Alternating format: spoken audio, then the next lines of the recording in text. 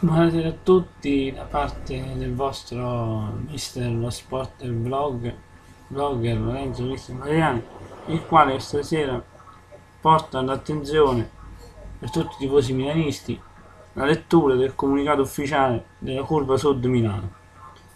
Il comunicato recita così: Ci spaventa vedere il Milan finire in mano a qualcuno che lo veda come un giocattolo. E, e di queste ore la notizia della conferma dell'avvio la cessione del Milan da parte del presidente Silvio Berlusconi. Questa news ha creato in noi una serie di interrogativi e riflessioni molto importanti. Partiamo dal presupposto che nessuno ha dimenticato quanto di bello abbiamo vissuto in questi anni, grazie alla gestione impeccabile di una presidenza, presente e costantemente entusiasta. Ma negli ultimi anni ci hanno davvero portati all'esasperazione. Gli ultimi quattro. E hanno portato gran parte del popolo rossonero.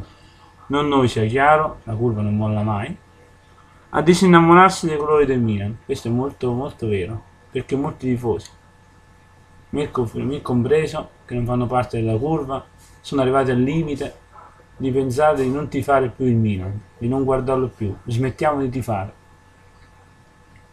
L'emblema del decadimento è vedere uno stadio sempre più desolante vuoto, infatti la domenica è vuoto, se non nel nostro settore. Siamo certi che la mala gestione societaria, da parte di Gagliani abbia la colpevole complicità nel nostro presidente, che ha lentamente e inesorabilmente lasciato sempre più potere in mano a questa persona. Giustissimo. Che non ha evidentemente fatto il bene del Milan. Infatti. Infatti la curva chiede quello che chiedo io, ovvero il licenziamento, l'allontanamento di Adriano Gagliano, per la sua mala gestione per i suoi progetti fallimentari che vi ho illustrato nello scorso video che hanno portato a questa situazione. Ci sembra assurdo però che nessuna delle persone a lui più vicine abbia mai fatto pressione al fine di ripulire quello che era il gioiello più luccicante della famiglia Berlusconi, quello che era il simbolo di una famiglia vincente, in salute e sempre pronta a tagliare nuovi traguardi. Non riusciamo a capire nemmeno se la cessione della società a dei fantomatici cinesi di cui nemmeno si conoscono le identità, possa ridare lustro al Milan, che nel frattempo somiglia sempre più a quello che, che erano le altre realtà, con continui cambi di panchina e giocatori di medio livello. Infatti il Milan prima non ha mai cambiato allenatori e giocatori, giocatori di medio livello. Sta facendo il contrario di quello che ha sempre fatto. Quanto di vero può esserci nelle stratosferiche cifre per il mercato di cui sentiamo parlare? Rischieremo forse che vadano ad alimentare ulteriormente il circolo vizioso dei procuratori e degli amici del signor Gagliani come è avvenuto negli ultimi anni? Io nello scorso video parlavo dei giochi preziosi, con Mino Raiola e con altra gente.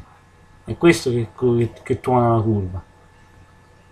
Come si può essere tranquilli sulla sana gestione della società se i presupposti sono legati alla presenza per almeno un trentennio che dopo aver letteralmente buttato 100 milioni nell'ultimo mercato è riuscito Nintendo di riciclarsi anche questa volta?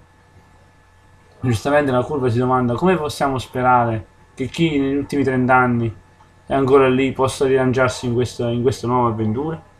Ci verrebbe, naturale, ci verrebbe naturale chiedere la cessione in questo momento, ma ci spaventa di finire in mano a qualcuno che vede il Milan come un giocattolo, che una volta che non piace più venga abbandonato con il rischio reale di vederlo sparire. È una giusta considerazione quella della curva, perché c'è anche il concreto rischio che i cinesi si possano stancare. Bisogna vedere questa cordata una volta che verrà ufficializzato il passaggio di proprietà, cosa veramente ha intenzione di fare. Quindi dobbiamo aspettare cosa questi cinesi abbiano intenzione di fare. Siamo anche però stufi della mediocrità degli ultimi anni e di veder lottare la squadra le posizioni secondarie importanza, dal decimo in giù e al settimo. Insomma, siamo a un bivio. Vedere il Milan passare di mano e sperare in un futuro radioso in mano dei proprietari, al momento sconosciuti, o sperare nella famiglia Berlusconi? Parliamo di famiglia Berlusconi perché ci sembra quanto meno doveroso puntualizzare che era ora, toccherebbe a tutti i figli prendere in mano le redini della società, insieme al padre e rinnovarla, mettendo fondi, cambiando i personaggi come i Gagliani, che hanno fatto male e hanno fatto il male del Milan, investendo su progetti futuri, perché in Italia abbiamo visto che quando, quando in Italia abbiamo visto che lavorando bene si può costruire squadre vincenti nel giro di pochi anni. Insomma, La curva sud per loro non è importante, cioè è importante chi ci sia, che continui Berlusconi o che venga un altro gruppo, ma quello che dico anch'io e come diciamo noi deve cadere andarsene una sola persona, Adriano Gagliani, che è responsabile del fallimento di questi ultimi anni e dei giocatori assurdi che sono stati comprati negli anni scorsi, come ho detto nell'altro video. Anche quando vincevamo c'erano giocatori che la maglia del Milan non avevano niente a che fare. Non capiamo come i figli possano completamente disinteressarsi del più grande amore del padre, quello che ha dato a lui grandi soddisfazioni e popolarità, spingendo a 80 anni a cedere la società, invece di aiutarlo e sostenerlo e a proporsi loro per prima la cessione della guida della società. Ci chiediamo quale possa essere il bene in questo momento. Ce lo chiediamo perché consapevoli del fatto che il Presidente, per quanto abbia molte colpe, ha sempre amato il Milan, mentre chi potrebbe subentrare sarebbe persona non legata al mondo Milan, e potrebbe rappresentare sia l'inizio della rinascita, ma anche la fine di quel sogno che il nostro Presidente ha alimentato per 30 anni, non trattando il Milan come una qualsiasi delle sue aziende, ma come un fatto di cuore. Giustamente la curva sottolinea um, come i figli del Presidente avrebbero dovuto maggiormente convincere il padre a non cedere, o almeno di interessarsi di più alle, alla gestione del Milan, ripulendo la feccia che loro continuano a riconoscere in Adriano Cagliani e magari fare una società nuova, sempre con la famiglia Berlusconi al comando, ma senza più determinate persone. Comunque, vada le cose, comunque vadano le cose, la base è ripartire da zero, eliminando il marcio interno alla società e mettendo entusiasmo in quella che fino a pochi anni fa era riconosciuta nel mondo come la società numero uno, quella vincente, da cui prendere spunto per diventare grandi, oltre che essere quella che si il mittente i giocatori viziati, che non, che non sputavano sangue per quella maglia.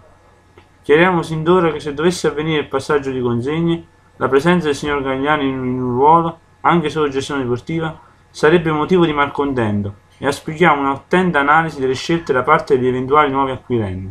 È molto chiaro quello che dice la curva, è quello che dico anch'io. Noi vogliamo l'allontanamento del signor Adriano Gagliani, non dall'anno prossimo, ma da questo istante che i cinesi facciano quello che noi vogliamo. Per una volta ascoltino il popolo. La curva sud rappresenta il popolo milanista, che ha un soltanto un solo grido. Cacciate Adriano Gagliani. Fatelo per noi. Sono anni che lo vogliamo fuori e quindi sto con la curva. Questo per ripartire col piede giusto, dimostrare quel reale cambiamento di cui Milan necessita quanto prima. Col Milan nel cuore, curva sud Milano. Questo è quello che ha scritto la curva e io lo sposo in pieno. Sono d'accordo con loro e quindi spero che domani, 7 luglio, ci sia un'altra contestazione per Adriano Gagliano. Lui deve andarsene, deve andarsene, dimettersi o essere licenziato. È ora che si cambi per davvero. Ciao a tutti.